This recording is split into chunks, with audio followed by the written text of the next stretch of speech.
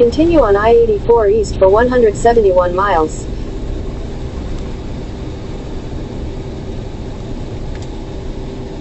Whatever you say. You are in a 17...